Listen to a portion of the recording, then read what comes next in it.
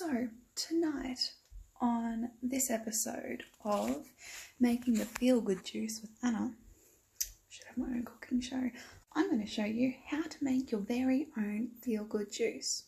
Alright, so if we have a look here, we've got the key essentials. We've got some goon, you know, Fruity Lexia, makes you sexier. We've got some uh, Jameson.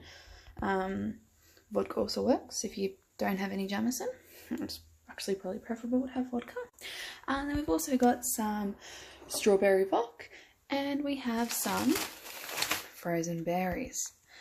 Now, as for the measurements, it's sort of a bit, you eyeball it really as to how much you feel. Um, so we first start off with pouring our goon in. Oh, now bear with me, I've got to figure out how we're going to do this. Okay, so,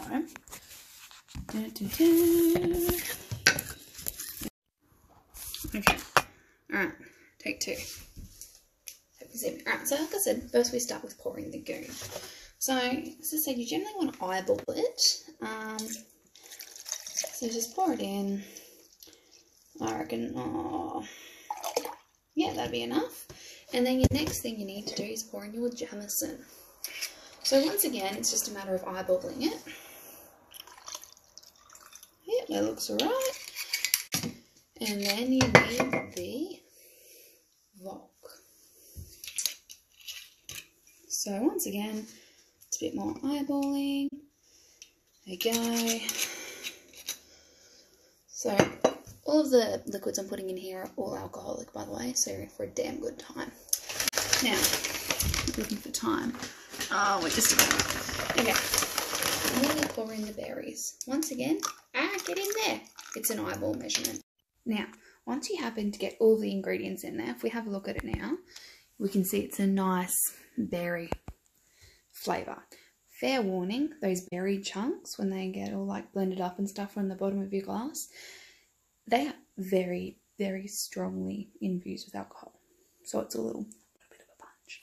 Anyway, so the next thing we need to do now is obviously put the lid on it. So, um, we'll do it this way. Still there? Alright, so put the lid on, obviously, and get on there. Ah! Alright, there we go. Now, the general, um, the general rule of thumb with blenders, especially the like little mini portable ones, is instead of blending it like this, you see how you got your uh, solids on the bottom, you got to flip it, and then let the magic happen. Anyway, so you let it blend for a little bit, however long it decides to take, and you just got to keep, you know, shaking it every now and then, and make sure your seal is on, your lid's on properly. All right, there we go. It's ready. Are you ready? All right. So next thing we need to do is obviously pour it. So give it a bit of a shake. Take the lid off. The seal can go there. Taste it, of course, and then pour it in. Look at that goodness. And then, of course, all that is left for you to do is enjoy it. So, cheers. Happy Easter.